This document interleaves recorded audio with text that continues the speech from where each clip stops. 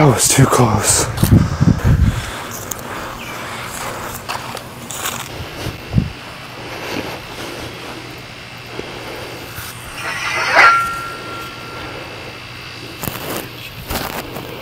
Is that who he was talking about?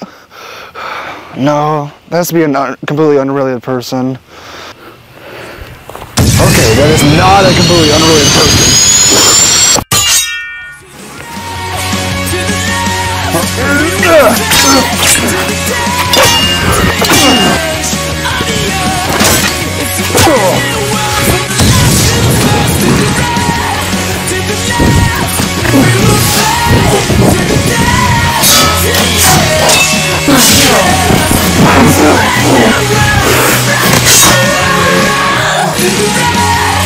Yeah!